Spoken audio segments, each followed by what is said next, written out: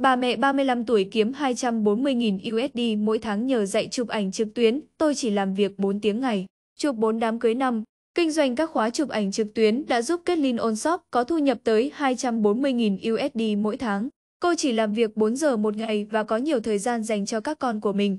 Năm 2008, Kathleen Onshop bắt đầu công việc nhiếp ảnh nghiệp dư tại ký túc xá. Ước mơ của cô là trở thành một nhiếp ảnh gia chuyên nghiệp. Điều đó không hề dễ dàng, nhưng cô rất hạnh phúc vì mình chưa từng bỏ cuộc. Giờ đây ở độ tuổi 35, Kathleen James đã trở thành một triệu phú tự thân và điều hành một doanh nghiệp giáo dục và cung cấp dịch vụ ảnh cưới.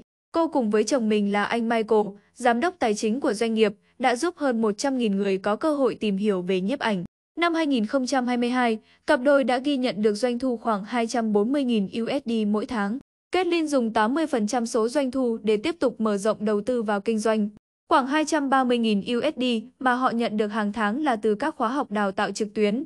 Hiện tại, Kathleen chỉ làm việc 4 tiếng một ngày và chụp ảnh cho 4 đám cưới mỗi năm, từ 750 USD đến 160.000 USD trong một ngày. Khi mới bắt đầu công việc nhiếp ảnh, Kathleen vẫn còn là một sinh viên đại học và phải dành phần lớn thời gian cho học tập. Tuy nhiên, cô vẫn có thể làm việc ít nhất 40 giờ mỗi tuần. Ban đầu, thu thập từ nghề nhiếp ảnh của cô không hề cao, chỉ 750 USD cho 6 giờ chụp ảnh và cộng thêm chỉnh sửa ảnh. Khi kỹ năng nhiếp ảnh được cải thiện, Kathleen bắt đầu ra giá cao hơn. Đến năm 2013, thu nhập của cô đã lên tới 6 con số. Kathleen may mắn khi có được một người cố vấn tuyệt vời, cô Jasmine Serta, người đã chụp ảnh cưới cho vợ chồng Kathleen. Bên cạnh đó, cô tham gia một số khóa học trực tuyến, tham dự hội thảo và nhận các dự án miễn phí để làm tiền đề cho việc xây dựng hạng mục đầu tư của mình. Nhưng rất ít các khóa học có giá cả phải chăng, vì vậy Kathleen bắt đầu chia sẻ các mẹo nhiếp ảnh trên blog của mình. Khoảng 8 năm sau, cô nhận ra rằng đào tạo nhiếp ảnh trực tuyến là một ngành kinh doanh có thể phát triển. Thông qua tuyên truyền và hoạt động mạng xã hội, cô đã lập ra một danh sách email của 7.600 nhiếp ảnh gia có mong muốn trau dồi kỹ năng nhiếp ảnh. Trong quãng thời gian đó, cô đã phát triển các giáo trình học tập, thiết kế sổ làm việc thông qua phần mềm Adobe InDesign, đồng thời theo dõi và chỉnh sửa nội dung khóa học với sự trợ giúp của một người bạn là nhà quay phim. Tháng 11 năm 2015, Kathleen cùng chồng đã triển khai khóa học nhiếp ảnh trực tuyến đầu tiên để hướng dẫn các nhiếp ảnh ra cách chỉnh sửa và sắp xếp quy trình làm việc của họ một cách hợp lý.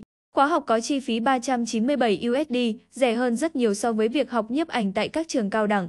Mục tiêu của họ khi ấy là đạt được 15.000 USD. Nhưng vào khóa học đầu tiên, cặp đôi đã kiếm được hơn 160.000 USD nhờ vào niềm tin mà họ đã có được từ khách hàng trong suốt quãng thời gian lên kế hoạch, quảng bá và triển khai lớp học, thu hẹp khoảng cách kiến thức nhiếp ảnh.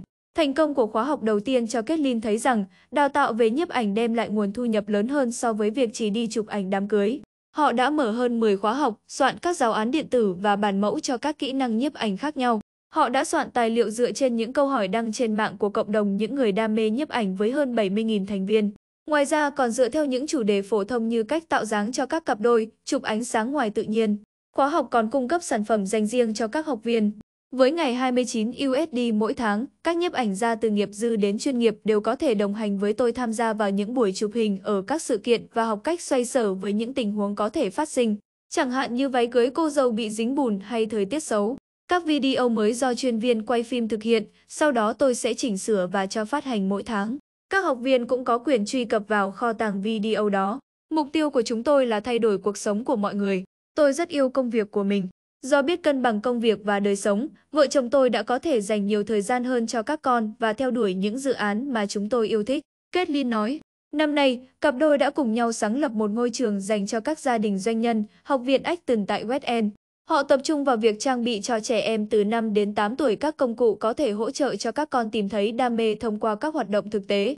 Dù hỗ trợ các nhiếp ảnh ra qua việc sáng tạo công cụ mới, ghi lại các khoảnh khắc đẹp ở đám cưới, ghi podcast hay chỉ đơn giản là chia sẻ những thăng trầm trong cuộc sống hàng ngày của mình trên mạng xã hội, họ luôn hy vọng có thể đem tới những thay đổi tích cực trong cuộc sống của mọi người.